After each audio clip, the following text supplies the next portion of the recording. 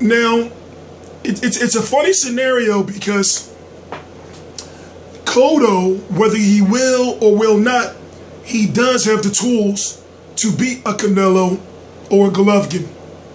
But something has happened over the last two years, especially after Cotto won that um, WBC title from Sergio Martinez literally a year ago. Something has happened where maybe it's just him selling himself or maybe he's just feeling himself too much, but now he's adopted the moniker, not by choice, of being called Diva Cotto. And his championship, the WBC championship, is a Divas belt. He won it via catchweight, okay, catchweight 159. And now with Daniel Geale, he's fighting Daniel Geale at a catchweight of 157 pounds. But guess what? Gary Shaw Productions, the promoter of um, of uh, Daniel Geale yesterday, stated that there's no financial penalty if Daniel Geale does not make weight. So therefore, the fight will still go on. Yes, they can cancel it, but they're not going to cancel it. It can still go on, but the worst that can worst thing will happen to Daniel Geale is that he will not be able to win the WBC title. Now, in this situation, if Daniel Geale was to get a win over Miguel Cotto without that WBC title, then that's like a championship of his own. I am T Street Controversy. This is T Street Controversy Live with RealCombatMedia.com, and I cover every single major fight live. So, this weekend on HBO, you're going to have Daniel Geale fighting Miguel Cotto for the WBC 160 pound title and the Ring Magazine 160 pound title. People are wondering, well, why is Cotto fighting Daniel Geale? I'm looking at it like, well, maybe he's using Daniel Geale as a stepping stone, or, or not stepping stone, but a measuring stick to see how he'll do against Golovkin. And also, we're going to see him fight a good, solid 160 pounder. Now, a lot of you Americans, you don't know who Daniel Geale is. You may act like you know who Daniel Geale is, but Daniel Geale is a pretty big name outside of the United States. So, does Daniel Geale have a chance?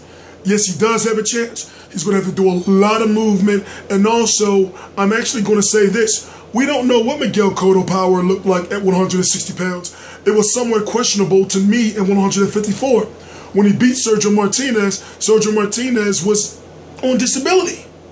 So now I have to think, well, Daniel Geale is known to be somewhat of a light puncher at 160 pounds. But will he be a light puncher against Miguel Cotto?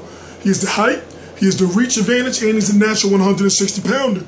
Now, they already said that Daniel Geale is going to come into the ring big. Daniel Geale has been sparring with Tureano Johnson. They are really, really, really trying to end this, whatever Miguel Cotto is doing with that 160 pound title. But if a lot of you don't know, it's set up to whereas in if Miguel Cotto wins, in order for him to fulfill his obligation to HBO, he has to fight Canelo. But if he has to fight Canelo, but if he does choose to fight Canelo, he has to pay GGG step aside money, but also set it up so that he fights GGG next. So basically, long story short, if Cotto wins, they put him in a situation to where he's got two mandatories. Go look it up. So, you know, he has no choice but to fight Canelo or to fight Golovkin. And then if he don't, he's going to drop his belt. So as far as HBO is concerned, he's got to fight Canelo next if he if he beats Geale. As far as WBC is concerned, you can fight Canelo, but give Golovkin some bread and then you fight him after Canelo. Or the winner of that fights Canelo. So, you know, I'm actually glad they put him in that situation because now we're going to see what he's really about, especially with that Roc Nation deal. I want to see really can Cotto put his money where his fucking pink goddamn Crocs is. I am T Street Controversy. This is T Street Controversy Live of RealCombatMedia.com, and I cover every single major fight live. Please subscribe.